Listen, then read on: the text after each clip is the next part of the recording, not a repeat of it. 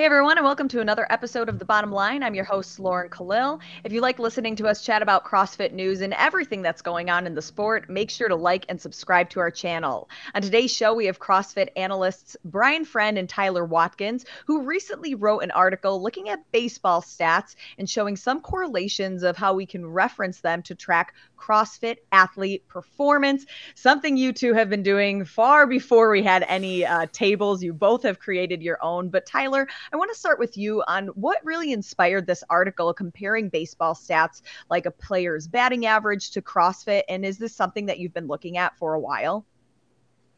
Yeah. Um, so I'll start with if I've been looking at it for a while. So it all started when I was at CrossFit Maximus um, about five years ago they had a team there and it was really competitive and i was i wanted to be on that team very badly and so i started wanting to measure performance and how how good do i have to be and then you quickly fall into the wormhole of like that's a really hard thing to figure out.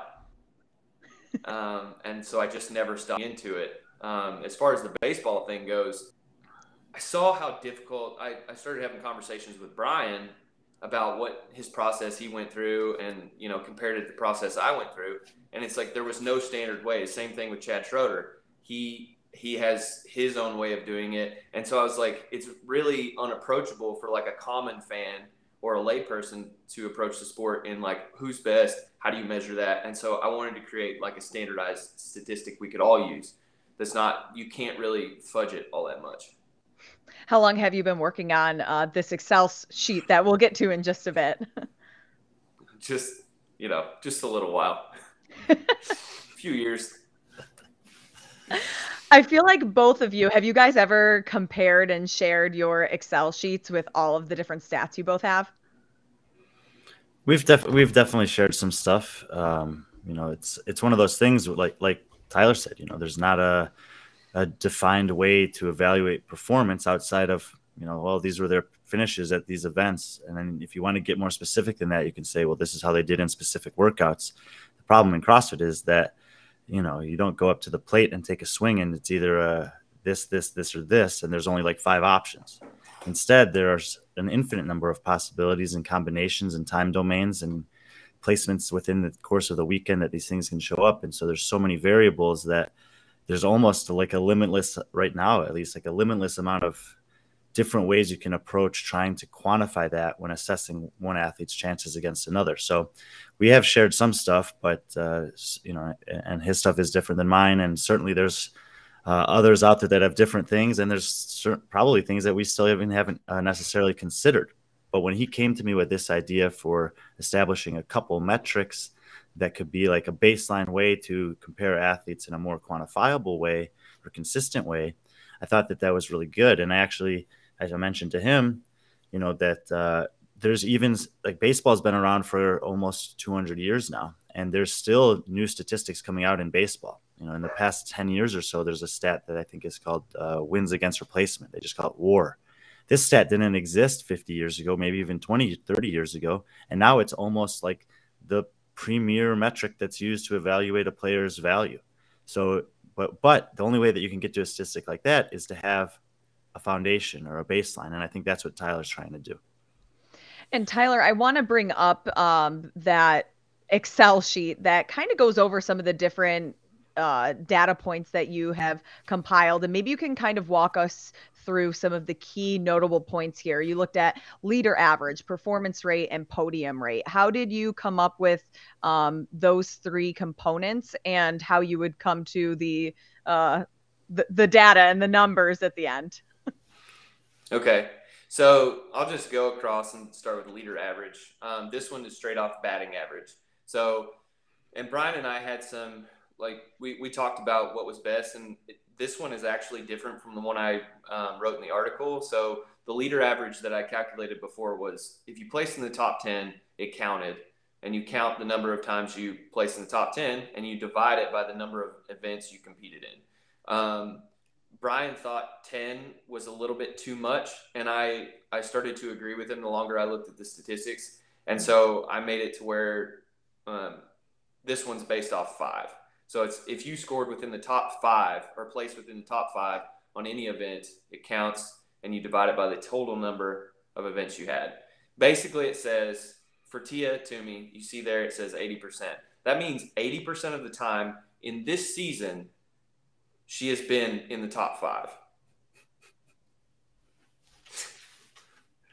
And it obviously shows how much uh, further ahead percentage wise she is than the rest of the field. Right. right. And so, like looking ahead, um, if you if you extrapolated this out, you could take that to say like there's an 80% chance on any given event that Tia will be in the top five. So then when you tab over to the men's side, you're obviously using the same three metrics straight across. Um, this, this field is not so extreme when you look at the men's side. Right. So, and right. So Justin Medeiros has a 60% leader average, which means he'll be in the top five um, 60% of the time, or has been. And you could guess that he probably will continue to be in there 60% of the time. Now, there are some limitations, but we can probably get into the, that later.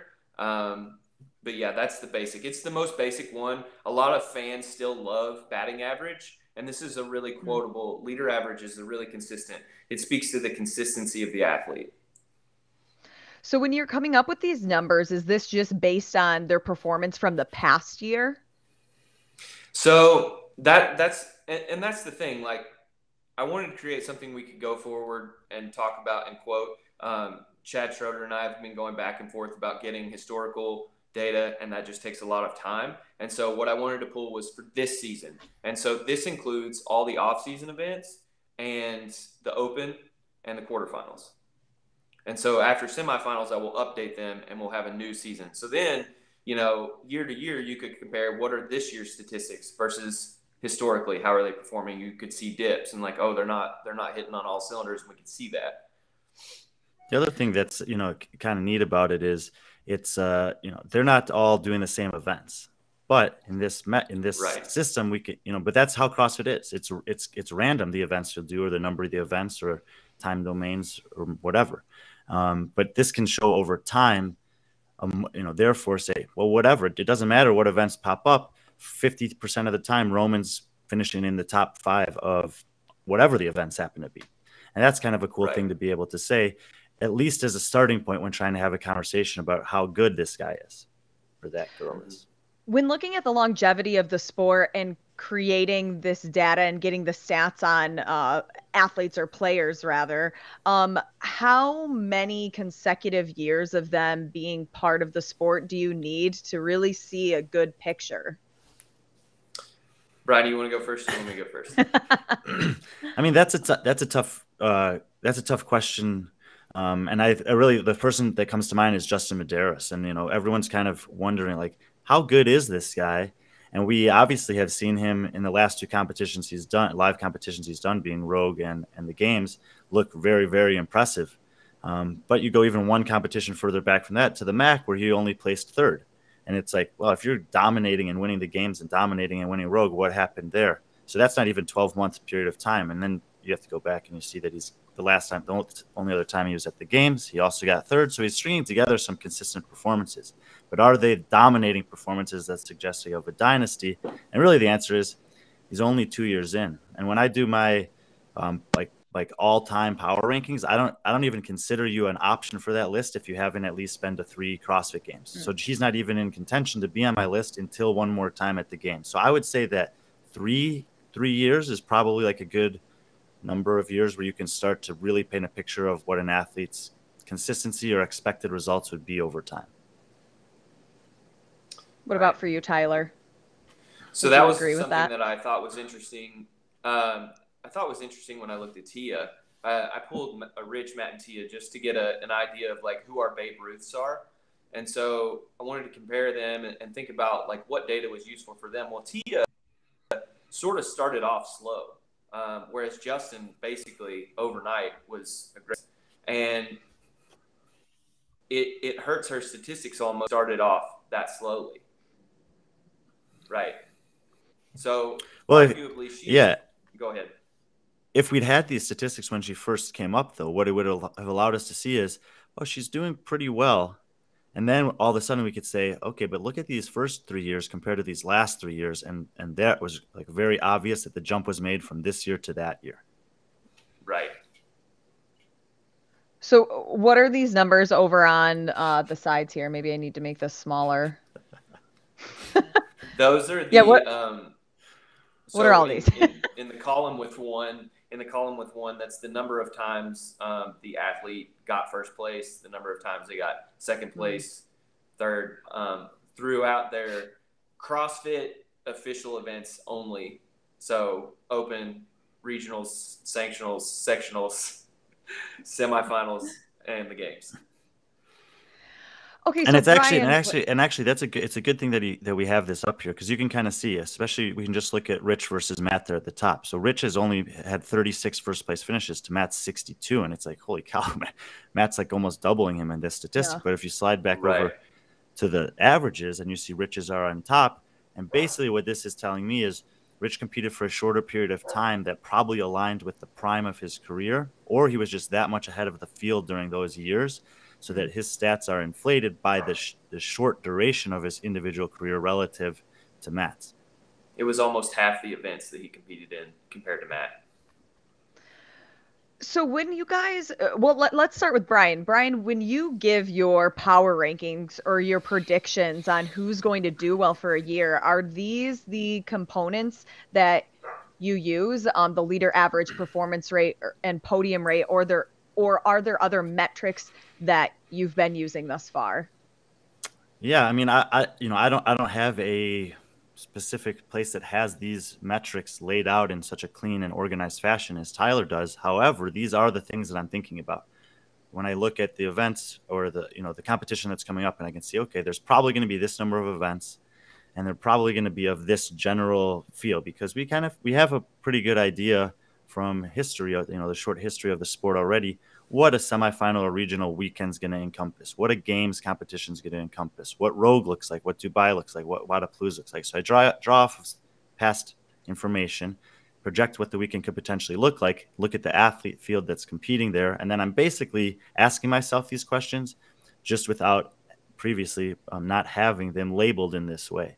The one other thing that I look at that I'm not sure is accounted for in either of these is the you know the potential for really bad performances you know if, and so there are some obvious examples that come to mind where you think this person's really really good at just about everything but if this thing pops up or if a test like this pops up then that's going to be a hit.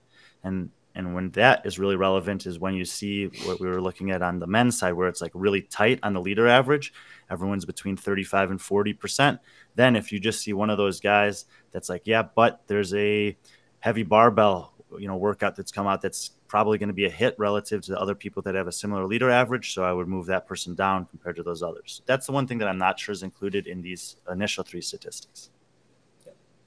And that's because I had to. The, we never know what the bottom position is.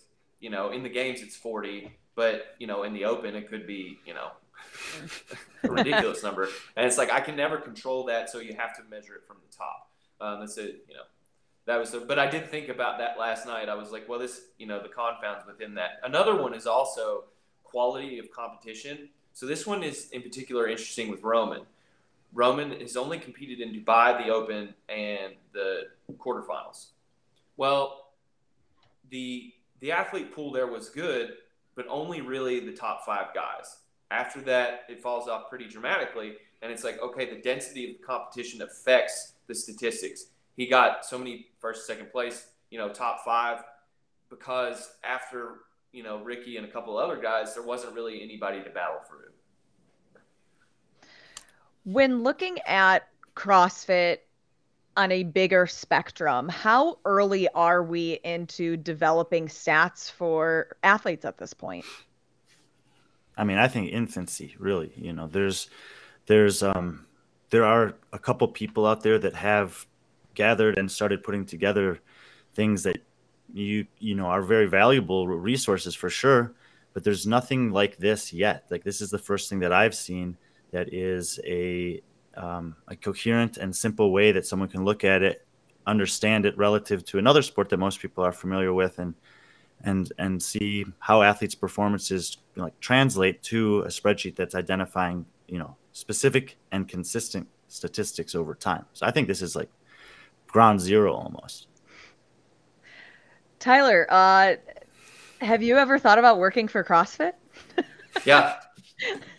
couple times. I feel like CrossFit. Well, they they need people like both of you who care about it and are putting the time and energy to make documents like this, just for the longevity and professionalism of the sports. I I, I guess I just wonder why CrossFit hasn't seeked you guys out, or maybe they have, or why they they haven't done this themselves.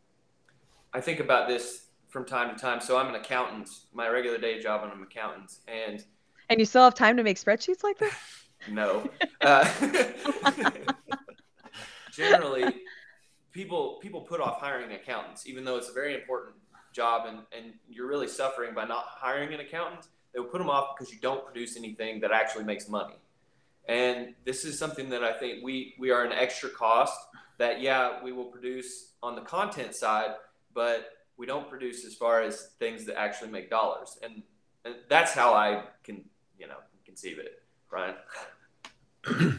yeah, it's you know even in the work that I've done with various competitions over the last couple of years, you know, uh, especially early on, people are like, "Oh my God, we want to have you here. We want you to contribute. You know, you're adding value."